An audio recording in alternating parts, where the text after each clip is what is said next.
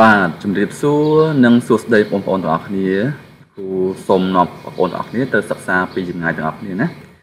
ចិត្តថ្ងៃនេះលោកគ្រូសូមនាំបងប្អូនពិសេសបងប្អូនថ្នាក់ទី11ទៅសិក្សាវិជ្ជាប្រវត្តិវិទ្យាទាំងអស់គ្នាណាអូខេហ្នឹងហើយមុននឹងចាប់ដើមលោកគ្រូនឹងសូមណែនាំខ្លួនបន្តិចលោកគ្រូឈ្មោះញ៉ាមសុជាតិជាគ្រូបង្រៀនមុខវិជ្ជាប្រវត្តិវិទ្យានៅវិទ្យាល័យបេស៊ីសវត្តក្នុងកម្មវិធីស្ដាររៀនចំនួនថ្មីហ្នឹងហើយបងប្អូនណា ចឹងប្រហែលជាស្គាល់គ្រូទាំងអស់គ្នាហើយព្រោះគ្រូបានមករៀនច្រើនដងដែរហើយចឹងថ្ងៃនេះគ្រូនឹងយកជំពូកទី2ដដែលទេដែលនិយាយអំពីប្រវត្តិសាស្ត្រប្រទេសកម្ពុជានឹងយក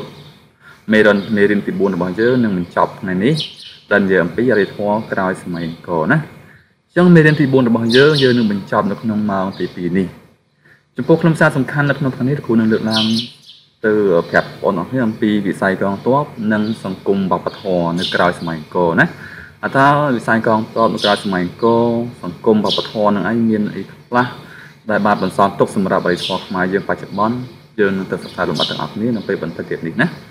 អូខេអរគុណច្រើនបងប្អូនអរគ្នាដែលបានចូលរួមក្នុងការមើលវីដេអូមួយនេះនឹងយើងទៅបន្តតែម្ដងប៉ុន្តែមុននឹងយើងចាប់ដើមក៏នឹងមានរូបភាពមួយឲ្យបងប្អូនអរគ្នាពិចារណាបន្តិចដើម្បីឲ្យយើងកាន់តែច្បាស់នៅក្នុងខ្លឹមសារមេរៀនមួយនេះណាបាទនេះ ចឹងលោកគ្រូបានដាក់រូបភាពមួយដើម្បីបងប្អូនអរគ្នាពិចារណាណាតទៅជាមួយនឹងរូបភាពមួយនេះតើវាឆ្លុះបញ្ចាំងអំពីអ្វីណាបងប្អូនយើងមានដំរីមានកងទ័ពមានគេហៅប្រើប្រាស់អាវុធនឹងសំដៅទៅលើគេហៅថាប្រើអ្វីដែរចឹងជារូបភាពមួយដែលអាចឆ្លុះបញ្ចាំងអំពីអ្វីដែរនៅក្នុងអរិយធម៌ក្រោយសម័យអង្គរមើល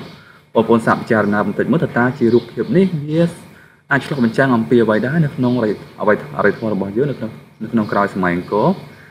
ហើយជាបងប្អូនអាចស្វែងយល់ដឹងហើយណាអញ្ចឹងគូសុំសួរមួយសំណួរចោះថាតើតើជាមួយនឹងគេហៅថាកងទ័ពទាំងអស់នេះជាការប្រយុទ្ធគ្នាមិនអញ្ចឹងណាអញ្ចឹងថាតើកងទ័ពនីមួយៗហ្នឹងអាចប្រើប្រាស់ដូចមិនដេចតើគេមានយុទ្ធសាស្ត្រអ្វីក្នុងការប្រើប្រាស់កងទ័ពហើយតើកងទ័ពហ្នឹងមានទៅបានបែងចែកជាប្រមាណប្រភេទ បងប្អូននឹងសាកនឹងរៀនទាំងអស់គ្នានៅពេលបន្តិចទៀតនេះជាមួយលោកគ្រូណាអញ្ចឹងយើងនឹងបង្ហាញច្បាស់កាន់តែ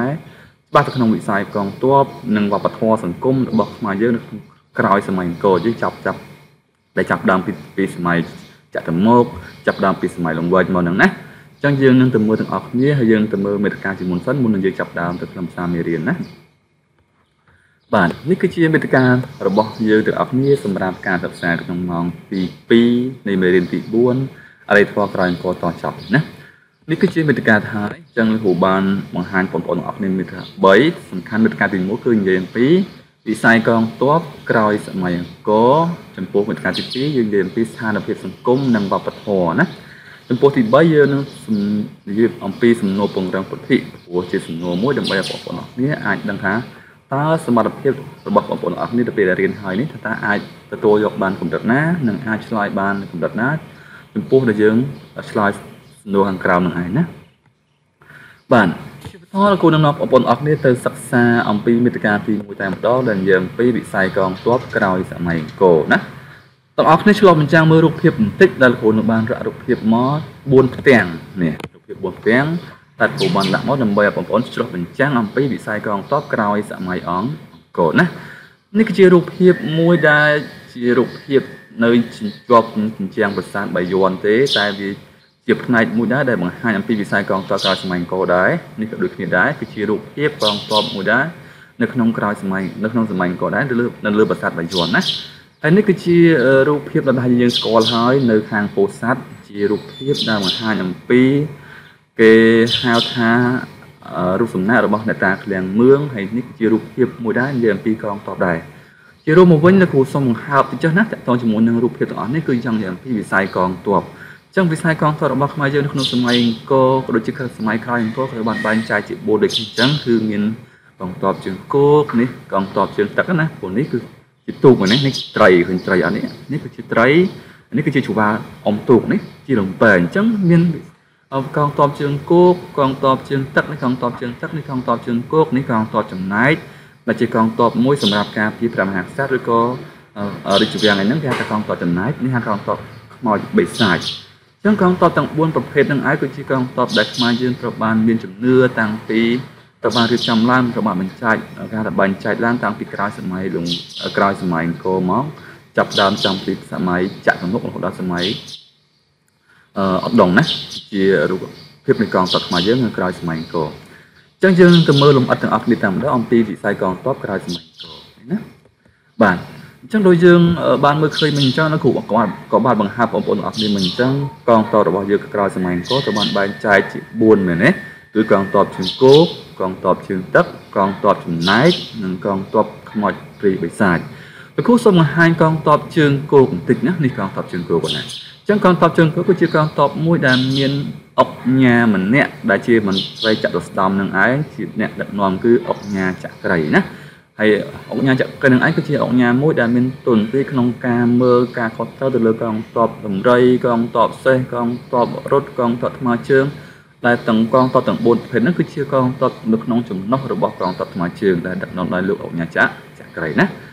មួយទៀតគឺតកតជាមួយនឹងអង្គញាជើងគេហៅអង្គញាកលាហោមវិញម្ដងអញ្ចឹងអង្គញាកលាហោមនេះគឺជាអង្គញាមួយរូបដែលមានទូនាទីក្នុងការដឹកនាំកងទ័ពជើងទឹកអញ្ចឹងរាល់កងទ័ពជើងទឹកទាំងអស់ត្រូវបានដឹកនាំដោយអង្គញាកលាកលាហោមណានេះអញ្ចឹងមកមួយទៀតតកតជាមួយកងទ័ពចំណែកដូចយើងបានដឹងហើយមិញរូបភាពកងទ័ពចំណែកក៏មានដែរណាចឹងកងទ័ពចំណែកនឹងឯងគឺជាកងទ័ពមួយដែលមានទូនាទីក្នុងការការពារមេដឹកនាំ ដូចជាកងរយដូចជាកងពាន់កងពលតូចកងលួងសុទ្ធសឹងតែជាកងចំណែកដែលបំរើព្រះមហាក្សត្រនិងការពារព្រះមហាក្សត្រនឹងហៅថាកងទ័ពចំចំណែកបាទយើងបន្តទៀតតទៅជាមួយកងទ័ពខ្មោចបិសាចណាយើងអាចពីហោបានតទៅកងទ័ពខ្មោចបិសាចនឹងឯងគឺជាកងទ័ពមួយដែលមានឡើងនៅក្នុងរជ្ជកាលរបស់ព្រះបាទ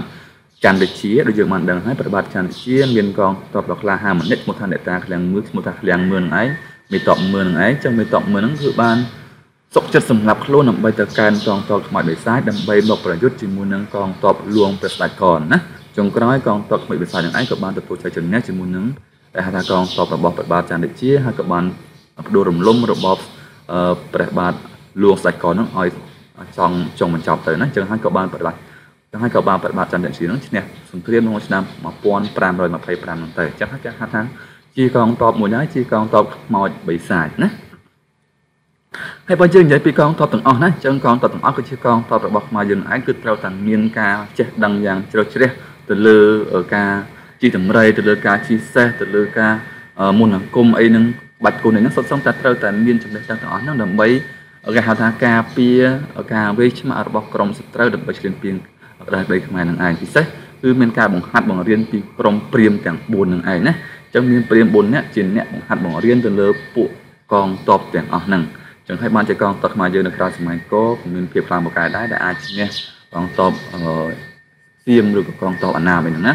អូខេហ្នឹងហើយអរគុណច្រើនសម្រាប់បងប្អូនអរគ្នាដែលបានចូលរួមស្ដាប់នឹងយើងនឹងបន្តទៅមើលខ្លឹមសារទី2របស់នេះតទៅជាមួយនឹងយុទ្ធសាស្ត្រក្នុងការប្រើកងទ័ពអ តើមានដឹកនាំខ្មែរយើងនៅក្រៅសម័យអង្គរតើតើមានយុទ្ធសាស្ត្របែបណាដើម្បីការពារដើម្បីប្រើប្រាស់កងទ័ពនេះណានេះគឺជារូបភាពមួយដែលគ្រូចង់អញ្ចឹងអំពីវិស័យសង្គ្រាមឬក៏ការធ្វើសឹកសង្គ្រាមរបស់កងទ័ពខ្មែរយើងនៅក្រៅសម័យអង្គរណាចឹងមានការបង្ហូរឈាមគ្នារហូតដែរតកតងជាមួយនឹងនឹងណាគឺមានមានការប្រមានការប្រើប្រាស់កងទ័ពរត់កងទ័ពរត់នោះមានកងទ័ពអីខ្លះក ងទ័ពរត់នោះវាមានកងទ័ពរទេះគោរទេះសេះហ្នឹងណាកងទ័ពថ្មើរជើងមានកងទ័ពដំរីកងទ័ពសេះសុទ្ធតែជាកងទ័ពដែលប្រើប្រាស់នៅក្នុងយុទ្ធសាស្ត្រកងទ័ពនៅក្នុងសម័យក្រោយអង្គរដែរណាតែយើងទៅមើលតែម្ដងតើតើនៅក្រោយសម័យអង្គរគេប្រើយុទ្ធសាស្ត្រកងទ័ពយ៉ាងដូចម្ដេចនេះណាចឹងលោកគ្រូខនតែបង្ហើបឲ្យបងប្អូនទាំងអស់គ្នាខ្លះខ្លះដឹងទេដោយសារតែវាជាចំណុចមួយដែលជាចំណុចរសើបដែរតើតើជាមួយនឹងការប្រើប្រាស់កងទ័ព ចឹងបើយើងមើលពីពីការប្រើប្រាស់កងទ័ពគឺខ្មែរយើងគឺមានកងទ័ពមុខទ័ពស្ដាំទ័ពឆ្វេងទ័ពបង្កប់ទ័ពលួងទ័ពក្រោយមានទាំងទ័ពក្រវ៉ាលទ័ពស្ទាក់ទ័ពចន្លោស្អីទៅទ័ពស្ទាក់ស្អីទៅទ័ពចន្លោស្អីទ័ពក្រវ៉ាលស្អីទៅទ័ពបង្កប់វាជាយុទ្ធសាស្ត្ររបស់ខ្មែរយើងក្នុងការប្រើប្រាស់កងទ័ពលោកគ្រូឧទាហរណ៍មកចុះតទៅជាមួយកងទ័ពចន្លោណាចឹងកងទ័ពចន្លោនឹងឯងគឺជាកងទ័ពមួយក្រុមដែលជាកងទ័ពស្រួចនៅខាងមុខដែលបានធ្វើសង្គ្រាមជាមួយនឹងកងទ័ព ខ្មាំងសត្រូវហើយបានចន្លោធ្វើសង្គ្រាមបន្តិចហើយក៏បានរត់ភៀសចេញទៅដើម្បីឲ្យកងទ័ពស្ទាក់នឹងអាចស្ទាក់កំតិចកងទ័ពខ្មាំងសត្រូវនឹងបានយ៉ាងងាយស្រួលណាអញ្ចឹងកងទ័ពចន្លោនោះក៏ក៏ល្អកងទ័ពស្ទាក់ក៏ល្អកងទ័ពក្រវ៉ានឹងក៏ល្អដែរអញ្ចឹងកងទ័ពក្រវ៉ានេះគឺជាកងទ័ពមួយប្រភេទដែលធ្វើការឆ្លបទៅលើក្រុមឆ្នាំងសត្រូវដើម្បីការពារកុំឲ្យឆ្នាំងសត្រូវនឹងអឺគេថាអាចចូលមកដល់បានហើយក៏បានបញ្ជូនដំណឹងមកឲ្យកងទ័ពអឺ មុខកងទ័ពស្ដាំអីហ្នឹងដើម្បីដើម្បីអីដើម្បីឲ្យការប្រយុទ្ធនឹងខ្មាំងសត្រូវនឹងទទួលបានជ័យជំនះណានេះគឺជាការបង្ហាញអំពីអឺយុទ្ធសាស្ត្រក្នុងការប្រើប្រាស់កងទ័ពរបស់ក្រោយសម័យអង្គរឯណាអញ្ចឹងមានកងទ័ពស្ដាំកងទ័ពមុខកងទ័ពក្រោយអីហ្នឹងហ្នឹងហើយអញ្ចឹងលោកគ្រូចង់ឲ្យឲ្យបងប្អូនអត់គ្នាច្បាស់តទៅជាមួយចំណុចហ្នឹងបន្តិចណាចង់គ្រូឧទាហរណ៍មិនច្បាស់ហើយបងប្អូនមែនទេអញ្ចឹងលោកគ្រូសូមបង្ហាញបន្តអំពីគេហៅថាក្បួនចម្បាំងអញ្ចឹងនៅក្នុងមេរៀនរបស់យើងនេះក៏បង្ហាញយ៉ាងច្បាស់អំពីក្បួនចម្បាំងដែរអញ្ចឹងខ្មែរយើងនៅក្រោយសម័យអង្គរត្រូវបានបែងចែកចម្បាំងជា3ប្រភេទណាមានចម្បាំងក្នុងស្រុកចម្បាំងទឹករំដោះទឹកដីចម្បាំងការពារជាតិស្អីទៅចម្បាំងក្នុងស្រុកស្អីទៅចម្បាំងរំដោះជាតិស្អីទៅរំបាំងការពារជាតិសុទ្ធតែជាពាក្យកលឹះដែលបងប្អូនត្រូវតែមានការចេះដឹងទាំងអស់គ្នាណាចឹងចម្បាំងក្នុងស្រុកចម្បាំងក្នុងស្រុកគឺជាចម្បាំងមួយប្រភេទដែល ជាចម្បាំងអាចជាចម្បាំងរាជវាំងចម្បាំងរាជបល្ល័ង្កចម្បាំងគ្នាឯងនេះហៅថាចម្បាំងក្នុងស្រុកចំពោះចម្បាំងរំដោះទឹកដីនេះណាចម្បាំងរំដោះទឹកដីយើងមើលឃើញនេះចម្បាំងរំដោះទឹកដីគឺជាចម្បាំងមួយប្រភេទដែលយើងអាចអឺកាត់ឡើងនៅក្នុងរាជការរបស់ព្រះបាទស្រីរាជាដូចជាយើងបានដឹងហើយព្រះបាទស្រីរាជាបន្ទាប់ពីបានឡើងសាររាជព្រះអង្គក៏បានបង្កើតនៅផែនការមួយរំដោះទឹកដីផែនភាគខាងលិចចឹងហើយចម្បាំងរំដោះទឹកដីជារំបាំងមួយដែលយើងអាចរំដោះ ខេត្តរបស់យើងដែនដីរបស់យើងចេញពីបណ្ដាប្រទេសនានាឬក៏បណ្ដាប្រទេសដែលជុំវិញយើងនឹងឯងណាហើយចម្បាំងការពារជាតិនឹងឯងជាចម្បាំងមួយប្រភេទដែលយើងការពារខ្លួនណាអញ្ចឹងចំពោះចម្បាំងការពារជាតិនេះគឺជាភាគច្រើនជាចម្បាំងមួយដែលកើតឡើងក្នុងក្រោយក្រោយសម័យលង្វែកអីណាសម័យអដងអីណាអញ្ចឹងយើងការពារខ្លួនរហូតប៉ុន្តែចុងក្រោយទឹកដីយើងសល់តែបន្តិចទេក្នុងសម័យដងហ្នឹងអញ្ចឹងជាការពារជាការជាចម្បាំងការពារខ្លួនណា ហើយចំពោះបើយើងនិយាយពីសង្គ្រាមនីមួយៗយើងបានដឹងហើយសង្គ្រាមតាំងពីសម័យអង្គរសម័យលង្វែកសម័យអីហ្នឹងមកសង្គ្រាមជាមួយនឹងចម្បាំងបរទេសចម្បាំងពួកជិតខាងពីច្រើនគឺរំដោះទឹកដីនិងកែនយកប្រជាជនបើកាលណាភាគីហាឈ្នះណាមួយអាចឈ្នះហើយគឺជាយាមនឹងកែនប្រជាជនដែលយើងឈ្នះនឹងឯងទៅកាន់ទឹកដីរបស់ខ្លួនដើម្បីឲ្យខ្លួននឹងឯងមានប្រៀបទៅលើប្រទេសជាគូសត្រូវនឹងឯងហ្នឹងហើយជាជាជាគេហៅថាជាយុទ្ធសាស្ត្រមួយដែល ក្នុងសង្គ្រាមដែលប្រទេសនីមួយៗតែងតែអនុវត្តនៅពេលដែលធ្វើសង្គ្រាមណាហើយមួយវិញទៀតគឺអាចនឹងការបដិបំផ្លាញចឹងណាដូចជាមើលបន្ទាយលង្វែករបស់យើងទៅតទៅជាមួយនឹងបន្ទាប់ពីសៀមបានវាយបាយទៅឆ្នាំ1594ពួកលង្វែកសៀមនឹងឯងក៏បានកំទេចកំបៃរស័យកំពេចជវាំងគ្មានសល់ទេរហូតដល់តែបាត់រីមីជើងប្រៃបានរំដោះបន្ទាយលង្វែកចេញពីសៀមវិញហើយក៏បានឡើងសរិទ្ធទៅណាចឹងជា ពីការបង្និយាយអំពីគេហៅថាយុទ្ធសាស្ត្រក្នុងការប្រើប្រាស់កងទ័ពនៅក្រៅសម័យអង្គរក៏ដូចជាយុទ្ធសាស្ត្រក្នុងការធ្វើសង្ធ្វើសង្គ្រាមអរគ្នាយល់ណាបើសិនជាមិនយល់អាចសាកសួរសួរនៅបន្ថែមទៅតជាមួយនឹងចំណុចហ្នឹងណាអាចឆាតសួរអាចខមមិនសួរទៅបានឲ្យយើងខ្វះខ្វះកន្លែងណាយើងអាចសួរកន្លែងហ្នឹងណាហ្នឹងហើយអរគុណច្រើនសម្រាប់បងប្អូនទាំងអស់គ្នាយើងនឹងបន្តទៅចំណុចមួយចំណុចមួយទៀតតទៅជាមួយនឹងវិស័យសង្គមសម័យអង្គរតើតើស ង្គមសម័យអង្គរនឹងមានអីកើតឡើងខ្លះយើងមើលរូបភាពមួយទាំងអស់គ្នាសិនណាបាទកណ្ណាគេនិយាយពីសង្គមគេនិយាយអំពីជីវភាពមនុស្សរស់នៅមិនចឹងណាអញ្ចឹងលោកគ្រូបង្ហាញអំពីរូបភាពប្រាសាទអង្គរវត្តបន្តិចនេះនេះគឺជារូបភាពប្រាសាទអង្គរវត្តរបស់យើងដែលមានការធ្វើដំណើរដោយព្រះរាជានឹងឯងនៅក្រៅសម័យអង្គរប្រហែលជាក្នុងឆ្នាំ1900ក្នុងសតវត្សទីដើមសតវត្សទី20ណា ចុងសតវត្សទី19ដើមសតវត្សទី20ដែលមានការធ្វើទស្សនកិច្ចរបស់ព្រះរាជាខ្មែរយើងក្រោយសម័យអង្គរទៅកាន់ប្រាសាទអង្គរវត្តណាហើយនេះគឺជារូបភាពមនុស្សខ្មែរយើងជីវភាពសង្គមរបស់យើងខ្មែរយើងនៅក្រោយសម័យអង្គរពិសេសអាចជាសម័យអដងនេះណាសម័យអដងក៏ជាជីវភាពបែបហ្នឹង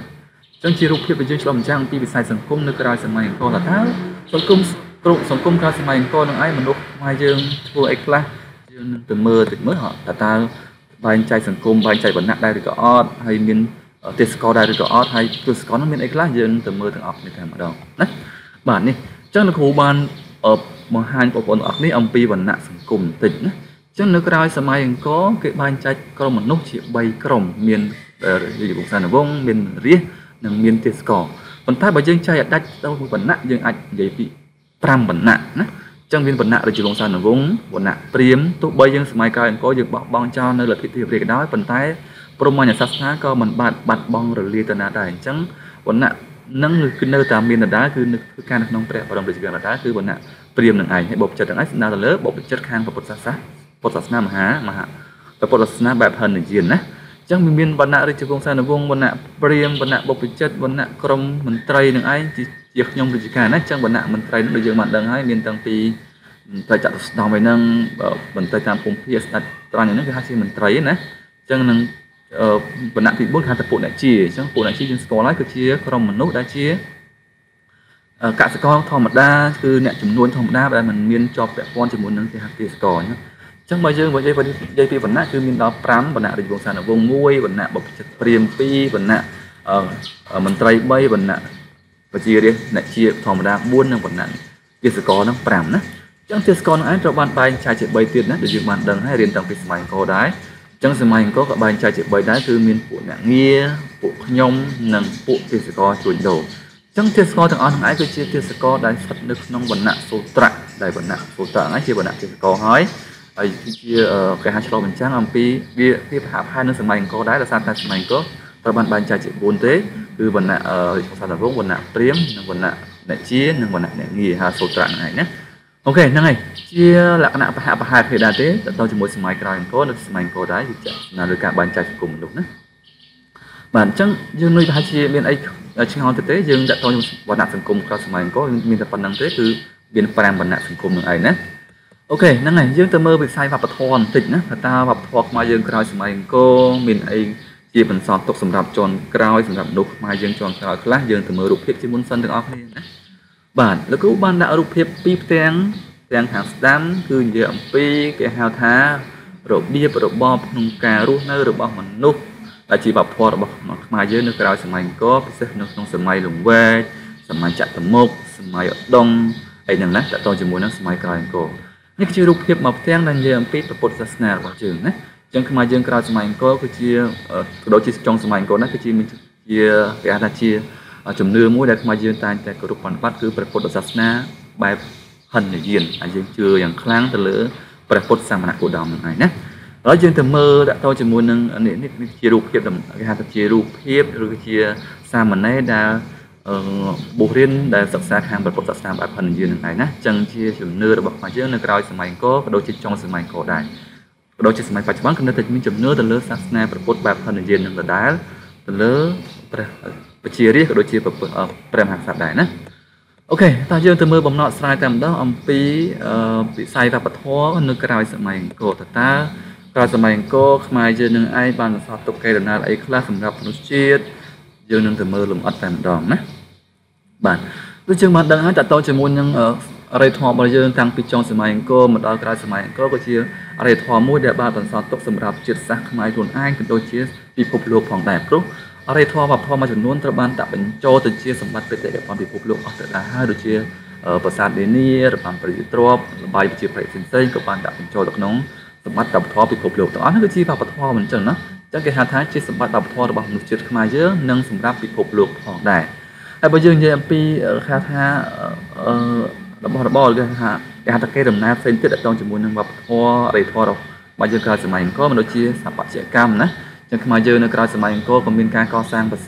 បទអារាមកសាងវិហារដែរហើយក៏កសាងចម្លាក់ដែរចឹងស្ទឹមតែជាស្ថាបត្យកម្មអសរសាស្ត្រសិល្បៈចឹងនិយាយពីសិល្បៈវិញក្រោយសម័យអង្គរគឺមានភាពដុតដាលខ្លាំងមែនតើគឺខ្មែរយើងចេះឆ្លាក់ចេះឈើយកឈើឆ្លាក់ជារូបព្រះយ៉ាងណា ជាសម្ដៅគេថាជាសិល្បៈរបស់ខ្មែរយើងមួយនៅក្រៅសម័យអង្គរដែរដែលយើងបានបន្សល់ទុកនៅរហូតដល់ពេលបច្ចុប្បន្នហ្នឹង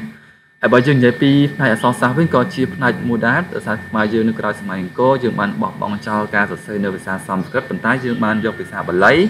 មកជំនួសភាសាសំស្ក្រឹតនិងប្រើប្រាស់អក្សរខ្មែរបុរាណចឹងហើយយើងអាចមានគេហៅថាបន្សល់ទុកយ៉ាងច្រើនសម្រាប់កូនខ្មែរយើងសិក្សារៀនសូត្របន្តទាំងភាសា ខ្មែរបុរាណទាំងអក្សរខ្មែរបុរាណទាំងអក្សរបាលីនឹងបានបន្សល់ទុករហូតដល់បច្ចុប្បន្នហ្នឹងហើយបើយើងនិយាយពីសាសនាវិញដូចយើងបានលោកគ្រូបានបង្ហាញមុនមុនអញ្ចឹងសាសនារបស់ខ្មែរយើងនៅក្រៅសម័យអង្គរទាំងចុងសម័យអង្គរគឺជឿទៅលើព្រះពុទ្ធសាសនាបែបហិនយានចឹងលោកគ្រូសូមបញ្ជាក់បន្តិចណាសាសនាបែបព្រះពុទ្ធនិងហិនយានហ្នឹងគឺមានពីរគណៈគឺគណៈមហាយានគណៈមហានិកាយនិងគណៈធម្មយុត្តកនិកាយចឹងគណៈមហាយាននឹងឯងគឺជាព្រះពុទ្ធសាសនាហិនយានមួយដែលខ្មែរយើងសុទ្ធសឹងតែអឺ 85%ហើយដែលជឿទាំងអស់គឺព្រោះថាតែជាសាសនាមួយដែលវាមានភាពទូលំទូលាយណាអញ្ចឹងប្រពុតបែបហនយានបែបមហាយាននឹងឯងគណៈមហានិកាយនឹងឯងគឺមានភាពទូលំទូលាយដែលអាចឲ្យប្រជារាស្ត្រនឹងឯងគោរពបប្រតិបត្តិបានយ៉ាងងាយស្រួលមិនមានភាពតាំងតែយ៉ាងតិចហៅថាព្រះពុទ្ធសាសនាហិនយានបែបនិកាយមហានិកាយណាប៉ុន្តែចំពោះគណៈធម្មយុត្តកនិកាយនេះវិញគឺជាគណៈមួយរបស់ព្រះពុទ្ធសាសនាដែរប៉ុន្តែវាមានលក្ខណៈតឹងរឹងជាគណៈមហានិកាយបន្តិចដោយសារតែប្រសង់របស់យើង មិនអាចហៅថាមិនអាចកាន់នៅថវិកាមិនអាចមានសិទ្ធិក្នុងកាយទេគឺជាគណៈមួយដែលសម្រាប់តែព្រះពុទ្ធសម្រាប់តែគេហៅថាវណ្ណៈមិនវណ្ណៈរាជវង្សានុវង្សជាអ្នកគ្រប់បុជាទេណាអញ្ចឹងបើយើងនិយាយពីគណៈមហានិកាយសម្រាប់រាជទូទៅរដ្ឋថាសម្រាប់គណៈធម្មយុត្តអាចជាប្រជារាផងនិងអាចរាជវង្សានុវង្សគ្រប់បុជាផងហ្នឹងហើយអញ្ចឹងជាការបកស្រាយបន្ថែមអំពីវិស័យវប្បធម៌របស់យើងក្រៅសម័យអង្គរក៏ដូចជាចុងសម័យអង្គរណាបងប្អូនប្រហែលជាយល់ហើយណា អញ្ចឹងយើងបន្តទៅដល់សំណួរប្រហាត់តែម្ដងដែលយើងនិយាយពីសំណួរប្រហាត់របស់យើងគឺសំណួរពង្រឹងពុទ្ធពុទ្ធិណាបាទអញ្ចឹងយើងមានសំណួរពង្រឹងពុទ្ធិទី1ដោយលោកគ្រូបានដាក់ហើយនេះណាសំណួរពង្រឹងទី1របស់លោកគ្រូយើងដាក់ថាតើតើកងទ័ពរបស់ខ្មែរយើងនៅក្រៅសម័យអង្គរមានប្រមាណប្រភេទហើយមានអីខ្លះណាលោកគ្រូបានសួរហើយអញ្ចឹងតាំងពីដើមមកគ្រូបានបង្ហាញបងប្អូនទាំងអស់គ្នាមិនអញ្ចឹងណាតទៅជាមួយនឹងវិស័យកងទ័ពដែលបានលោកគ្រូបានដាក់រូបភាពមួយហើយបានឆ្លុះបញ្ចាំងឲ្យបងប្អូនទាំងអស់គ្នាសួរនិង ឆ្លុះបញ្ចាំងឲ្យបងប្អូនទាំងអស់គ្នាឆ្លើយនឹងឯងណាអញ្ចឹងលោកគ្រូបង្ហាញចម្លើយតែម្ដងទៅកុំឲ្យបងប្អូនរងចាំយូរតើតើចម្លើយណាខ្លះចម្លើយណាខ្លះត្រឹមត្រូវនេះណាអញ្ចឹងលោកគ្រូបានដាក់មកមាន4ប្រភេទណាអញ្ចឹងគ្រូដាក់4ប្រភេទចម្លើយកនឹងមានតបថ្មើរជើង មានតបអរុតមានតបសេះមានតបជើងទឹកហើយចំពោះចម្លើយខវិញគឺមាន4ប្រភេទដែរគឺមានកងតបជើងគោកងតបរទេសកងតបសេះនិងកងតបទូកណាអញ្ចឹង4ដូចគ្នាអញ្ចឹង ចម្លើយកវិញគឺមាន4ប្រភេទដែរមានកងទ័ពជើងគោកងទ័ពជើងទឹកកងទ័ពចំណែកនិងកងទ័ពបិសាចដល់ពេលចម្លើយខមិនមានចម្លើយទេណាអញ្ចឹងចម្លើយទាំង4ហ្នឹងគឺមានចម្លើយមួយត្រឹមត្រូវទៅលើសំណួរដែលសួរថាកងទ័ពរបស់ខ្មែរក្រៅសម័យអង្គរចែកចេញជាប្រមាណប្រភេទហើយមានអីខ្លះហ្នឹងណាអញ្ចឹងប្រហែលជាបងប្អូនអាចឆ្លើយបានហើយព្រោះជាចំនួនមួយដែលងាយដែរទេសម្រាប់បងប្អូនអរគ្នាណាតើមានអីខ្លះតោះឥឡូវយើងបង្ហាញចម្លើយតែម្ដងទៅចឹងនេះណា ចម្លើយដែលត្រឹមត្រូវនឹងឯងគឺចម្លើយកគឺមាន4ប្រភេទគឺកងទ័ពជើងគោកកងទ័ពជើងទឹកកងទ័ពចំណែកនិងកងទ័ព3បិសាចលោកគ្រូសូមបញ្ចូលបន្ថែមបន្តិចដោយសារតែខ្មែរយើងក្រោយសំណាញ់ក៏គឺបានបែងចែកជា4អញ្ចឹងហើយគឺត្រឹមត្រូវហើយណាកងទ័ពជើងគោកនឹងឯងគឺបានបែងចែកជា4ដែរគឺមានកងទ័ពថ្មើរជើងកងទ័ពរត់កងទ័ពសេះកងទ័ពត្រី និងកងទ័ពហ្នឹងណាសុទ្ធសឹងតែជាកងទ័ពដែលនៅក្នុងវិស័យកងទ័ពជើងជើងគោកពីពួកកងទ័ពជើងទឹកវិញគឺជាកងទ័ពមួយដែលបំរើបំរាស់នៅក្រៅសម័យអង្គរគឺជាដូចយើងឃើញហើយនៅក្នុងតាមអញ្ចឹងប្រាសាទនានាពិសេសប្រាសាទបាយ័នហ្នឹងឯងគឺមានបង្ហាញយ៉ាងច្បាស់អំពីវិស័យកងទ័ពជើងទឹកអញ្ចឹងហើយបាននិយាយបន្តមកដល់សម័យក្រោយអង្គរក៏មានកងទ័ពជើងទឹកដែរណារហូតដល់បច្ចុប្បន្នក៏មានកងទ័ពជើងទឹកដែរណាអូខេហ្នឹងហើយកងទ័ពចំណាយក៏មានដែរចឹងកងទ័ពចំណាយចំណាយកងទ័ពមួយប្រភេទដែលការពីព្រះមហាក្សត្រពីក្នុងសត្រូវនឹងឯងកងទ័ពចំណាយ ពេលកងទ័ពបេសាទទាំងឯងជាកងទ័ពមួយដែលខ្មែរយើងមានជំនឿយ៉ាងខ្លាំងទៅក្នុងរាជការរបស់ព្រះបាទចន្ទរាជារហូតដល់យើងមានអាចកែនទ័ពថ្មីមកដើម្បីការពារសត្រូវនិងយកឈ្នះសត្រូវលើកងទ័ពរបស់ព្រះបាទលួងព្រះស្ដេចកនបានណាហ្នឹងហើយអញ្ចឹងជាសំណួរទី1នឹងឯងទៅតាមតែបងប្អូនឆ្លើយត្រូវហើយណាអញ្ចឹងយើងទៅមើលសំណួរប្រភេទទី2ណាបាទគូបានសួរថាតើវិស័យសាសនានេះសាសនាព្រះពុទ្ធនេះណា តើសាសនាពុទ្ធបែបហិនយាននឹងឯងគណៈធម្មយុត្តកនិកាយនឹងនាំចូលមកពីប្រទេសណាអ្នកនាងមើលហើយតាពិចារណាមើលបាទអញ្ចឹងលោកគ្រូសូមនិយាយបន្តិចតទៅជាមួយនឹងព្រះពុទ្ធសាសនាហិនយានរបស់យើងណាអញ្ចឹងមានពីរគណៈគណៈមហានិកាយនិងគណៈធម្មយុត្តកនិកាយអញ្ចឹងនៅពេលនៅក្រោយសម័យគេហៅថាសម័យដងនៅចុងសម័យដងគឺមានការនាំចូលមកហើយយើងមើលគាត់ថាតើព្រះរាជាអង្គណាដែលបាននាំចូល សាសនាប្រពុតបែបបែបហនុយានតែគណៈធម្មយុត្តកនិកាយនេះនាំចូលមកស្រុកខ្មែរយើងនៅក្រោយសម័យអូឧដុងឬក៏ចុងសម័យដុងណាលោកគ្រូបានបង្ហាញចម្លើយ4ដែរសង្ឃឹមថាបងប្អូនគ្នាឆ្លើយត្រូវណាថាតើនាំចូលមកពីណាហើយអ្នកណាជាអ្នកនាំចូលមកណាចឹងសាសនាប្រពុតបែបហនុយានចម្លើយកនឹងឯងគណៈធម្មយុត្តកនិកាយហ្នឹងគឺនាំចូលដោយនាំមកពីសៀមណាគឺនាំចូលមកពីសៀមហើយដោយប្របាទអង្គឌួង ចម្លើយខវិញយើងយកមកពីអណាមហើយនាំចូលដោយប្របាទចយុថាទី2ចម្លើយគនាំចូលពីលាវមកដោយប្របាទស្ថាទី1និងចម្លើយខនាំចូលពីចិននាំចូលដោយលោកជឿតវ៉ាន់ចុះក្នុងចម្លើយទាំង4ហ្នឹងមានចម្លើយត្រូវមួយដែលនិយាយអំពីសាសនាព្រះពុទ្ធហនុយានបែបគណៈធម្មយុត្តកនិកាយដែលនាំចូលពីណាមកបាទហើយបងប្អូនអាចឆ្លើយត្រូវណាអញ្ចឹងយើងទៅមើលចម្លើយតែម្ដងទៅនេះចម្លើយដែលត្រឹមត្រូវនឹងឯងគឺចម្លើយចម្លើយកណាចម្លើយកនេះគឺ យើងបាននាំចូលមកពីសៀមដោយព្រះបាទអង្គឌួងណាចឹងលោកគ្រូសូមបង្ហើបបន្តិចតទៅជាមួយចំណុចហ្នឹងនៅពេលដែលព្រះបាទអង្គឌួងគង់នៅសៀមគឺព្រះអង្គមានជំនឿយ៉ាងមុតមមទៅលើព្រះពុទ្ធសាសនាបែបវណ្ណៈធម្មយុត្តកនិកាយហ្នឹងព្រោះ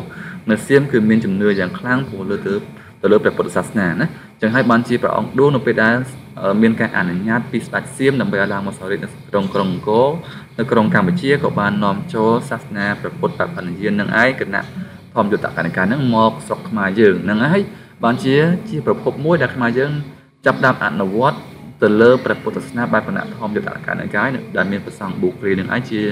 ប្រធានគណៈនឹងឯងបច្ចុប្បន្នរហូតដល់សពសប្តាហ៍ថ្ងៃហ្នឹងណាអូខេហ្នឹងហើយអញ្ចឹងជាចុងក្រោយហើយលោកគ្រូអត់មានអីទៀតទេមានតែអរគុណច្រើនសម្រាប់បងប្អូនដែលបានចូលរួមស្ដាប់ចូលរួមមើលវីដេអូមួយនេះសង្ឃឹមថាបងប្អូនទាំងអស់គ្នានឹងទៅស្វែងយល់បន្ថែមអំពី ការសិក្សាពីចម្ងាយនេះតទៅជាមួយមេរៀនទី4របស់យើងនឹងណានិយាយអំពីវិស័យផ្សេងៗនៅក្នុងសម័យក្រោយអង្គរមានតាំងពីវិស័យកងទ័ពវិស័យនយោបាយវិស័យរដ្ឋបាលបព្វធម៌សង្គមអីហ្នឹងដែលមានការតាំងជាចំណុចសំខាន់សំខាន់ដែលជាអរិយធម៌ក្រោយសម័យអង្គរដែលបានបន្សល់ទុករហូតដល់បច្ចុប្បន្នហ្នឹងហ្នឹងហើយចុងក្រោយលោកគ្រូសូមអរគុណច្រើនបងប្អូននិងសូមឲ្យបងប្អូនទាំងគ្នារួចផុតពីការចម្លងផ្សេងពិសេសជំងឺ Covid-19 ណាចុងក្រោយលោកគ្រូសូមអរគុណច្រើនសូមជម្រាបលា